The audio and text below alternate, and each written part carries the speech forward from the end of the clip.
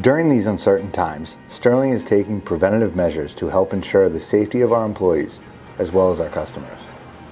Each employee is asked when they arrive to our warehouse to either wash their hands with soap and water or use hand sanitizer, as well as practice social distancing.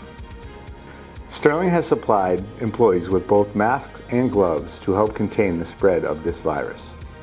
Once sanitized and masked, we take each employee's temperature to ensure it is in the normal range. Our vehicles and equipment are essential for our crews and we disinfect every one of our trucks and vans as well as our equipment each afternoon.